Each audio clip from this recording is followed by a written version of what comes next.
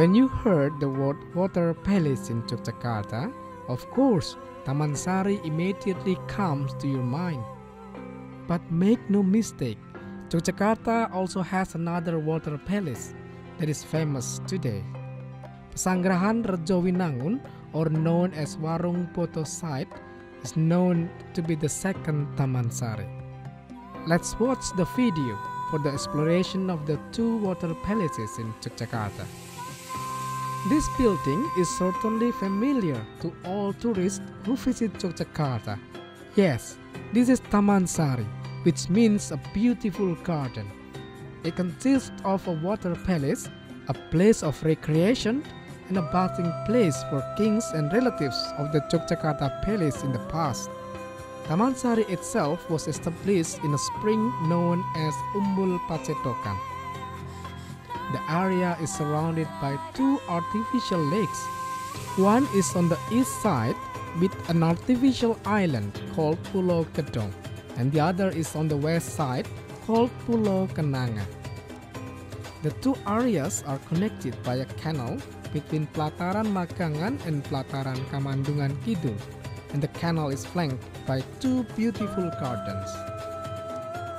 Other than as a place of recreation, it seems that Taman Sari also has a defense and religious function. The defensive function can be seen in the thick and high perimeter walls, the gates with guards, and bastions as places to store weapons. In addition, there are several underground roads that connect one place to another. The high position of the Pulau Kenanga building allegedly functioning as an observation deck. The religious function is indicated by the existence of Sumur Gumuling and Pulau Panembung buildings. The Gumuling well had a function as a mosque, while Pulau Panembung was used by the Sultan as a place to meditate. These two buildings are in the middle of the Segaran pool. Some earthquakes that occurred in Yogyakarta also damaged the Taman Sari buildings. The process of renovation and revitalization was carried out, and some buildings were rebuilt and strengthened. Taman Sari, which was in ruins, is now waiting for you to visit, especially for those who want to know the splendor of the king's garden in the past.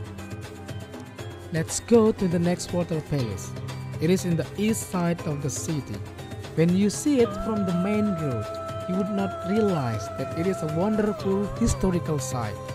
Pesanggrahan Rejowinangun, or what is familiar as Warung Boto site, is located below the main road. It is located at Veteran Street number 77, Warung Boto, Umbul Harjo, Yogyakarta. It is one of the most incomplete ruins and continues to be reconstructed. After building the Taman Sari, Sri Sultan Hamengkubuwono I wanted to build other guest houses. So Pesanggrahan Rejowinangun was built. The construction was continued during the era of Sri Sultan Hamengkubuwono II.